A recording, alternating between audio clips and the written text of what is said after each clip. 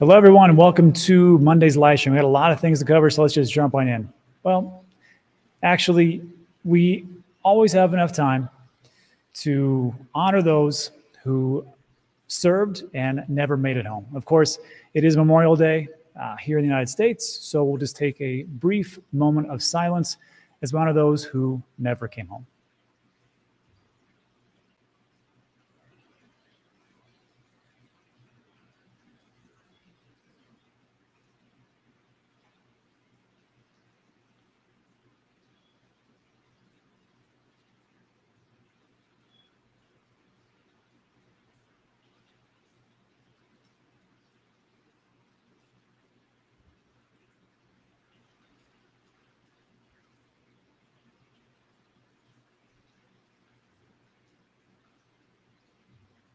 Thank you to all those who served and made the ultimate sacrifice. So, today, uh, before we get into the Bitcoin, uh, the different uh, parts we're going to talk about as far as like the million that it's reached, which is a huge milestone.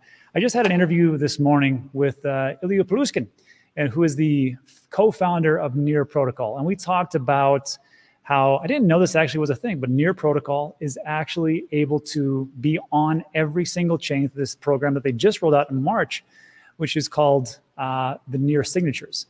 Pretty interesting stuff. And then also they're rolling into AI because I didn't I didn't realize this, but both of the co-founders, Ilya and Alex, they both uh, have a background in AI. And Ilya actually worked for NVIDIA, which is the reason why the CEO of NVIDIA was so chummy with him at that latest conference. So that will be out. Uh, we'll do that. We just recorded the video that'll be out tomorrow morning.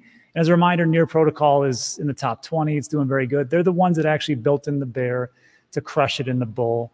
And the video will look like this. So that'll be out tomorrow. But today, what we're talking about is Bitcoin and how it's gone so well. I mean, with this ETF. Now there's an Ethereum ETF coming up, and I think it's going to follow the same trajectory. Maybe we will see. Remember, one of the one of the things with the Ethereum ETF is that they took out, I think, one of the biggest parts of it, which is no staking. So we'll see what the demand is for it. We'll see if institutions and people are right that institutions are clamoring for Ethereum. But for Bitcoin, as far as the ETF flows, did you know that we're at an all-time high for the AUM? Total net Bitcoin flows, the ETF net flows, positive and negative net flows, 236.5, almost 237. And if we take a look here, this is, I think, what's going to happen with the Ethereum. I think it's going to be the same thing with Grayscale. Uh, we can see here that in the beginning, this is BlackRock. In the beginning, BlackRock had zero Bitcoin, and Grayscale Bitcoin had over 600K. And now you can see that they are 4,000 Bitcoin difference between BlackRock overtaking Grayscale with 285,000 to 289,000, which is pretty impressive, I might add. And to give you a sense of what that looks like, it looks pretty much like this. Now they're actually excluding Grayscale for what it is, but you're going to see that how fast BlackRock took hold and just started to accumulate and accumulate and accumulate Bitcoin as of today, we're roughly at 287,000 and growing, growing fast every single time. So we'll see how it all works out. But this is what caught my attention. This is from the Bold report. And they took a look at this is all the different ETFs. This is not just American ETFs. This is global ETFs. A funny thing, we talked about this yesterday, actually a couple days ago, I think so, that the, the total ETFs in America is roughly 850,000 Bitcoin being held and everywhere else was like 150 160,000 so i know people say well america's not that great and there's not that much. Trust me we got a boatload of money and we love to print. So if you can see here that actually this actually happened back in april or so where the uh, total accumulation is 1.45 million. Now over here we're at 1.39 million. So we have actually gone above 1 million held by all etfs and i have mixed emotions. Now i'd like to get everybody's opinion do you think this is a good thing for Bitcoin moving forward? Because we have a lot of Bitcoin under custody and bought by institutions, but then clients for those institutions. You have to remember, it's not like BlackRock's like, give it to us all. They have clients, and the clients are like saying, I want that. BlackRock says, okay, we'll buy that. They buy that and they stick it into Coinbase, and that's the custody service provider. But it just seems a little bit odd as it's just held in those places. It's not under cold storage. Well, it is under cold storage as far as like with Coinbase, they do that, but it's not in the hands of the individual. So I just want to get a feel for what everybody what everybody senses as far as this leap of a million plus Bitcoin in the hands of those ETF holders. Anyhow, let me know what you think about that in the comment section. I think it's a, a push in the right direction. We're the right place at the right time. And also, just expect the same thing to happen for Ethereum ETFs as long as there's demand for it. And we'll see. Anyhow, let me just think about that in the comment section. And then also, I want to go over this Ton blockchain. Now, just so you know, I own Bitcoin, I own Ton. All right. I picked up some a little bit like about a couple weeks ago or so. And I know when people, it's funny because like when I talk about uh, Bitcoin or Ethereum, no one really cares because that's fine. But as soon as I start to move down that track to like Solana or Cardano, people either love it or hate it. I think it's because either people don't have a bag or they have a bag. So let's just call a spade a spade. So I'm talking about ton because I got a bag of it. And I like to see things grow. And as, as a reminder, ton is in the top 10 so far. But I thought this was interesting. And before I get into it, some there's I know I can hear you yelling at the screen. And you're yelling at the screen, some of you, by saying, but Rob, you don't understand. Those wallets are centralized. It's owned by 90 some percent by a handful of individuals. It's not. And I'm going to prove it to you in a second. So, Ton blockchain's total value locked surpasses 300 million. So that's TVL, which is, I got to tell you, quite paltry compared to the billions on Ethereum. That's true. But I like to see progress. And Ethereum wasn't Ethereum at one point, and Bitcoin was a Bitcoin another point. Just remember, this is the long game. So here's what we have 300 million, marked an over tenfold increase since early March as far as TVL. This is why. The network, the Ton network, is seeing locked value surge amid an ongoing ecosystem initiative called the Open League. And the Open League, I linked this in the description. You can check this out. And I think this is a very smart way to do things. What they're trying to do is get Toncoin out of their wallets to other people. And the way they're doing this is they're having you sign up just like how you do like airdrops, but they're going to say, hey, complete some easy tasks such as tapping or logging in daily, and we'll give you some Toncoin. Or if you give us some liquidity, we'll give you even more Toncoin.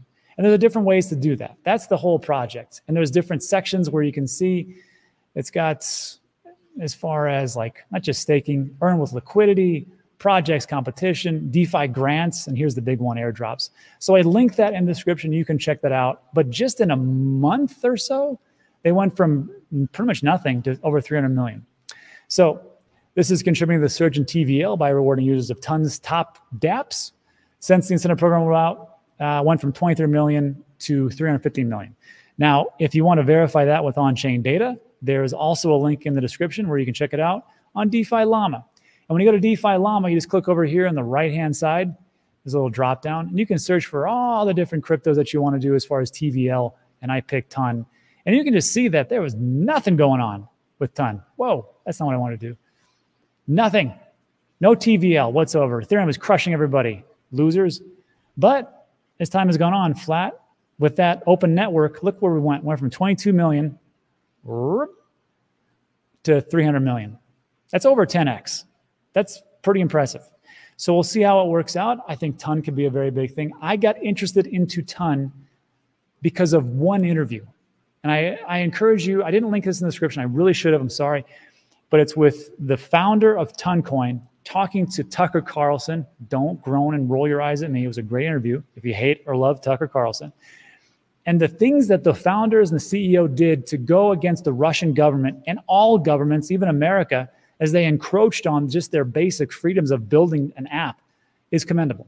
So I'd like everybody to take a listen or take a watch for that video. Now, the wallets. And this is a big thing. This is a very big thing because when I first talked about it, and I think the first time I heard about Toncoin was uh, was me, Guy, and Ben were doing a show, NFA Live. And Guy was talking blabbering on about how great Toncoin was. And I was like, well, you know, trying to sound smart, you know, it's pretty centralized with all those wallets. And it was, it really was.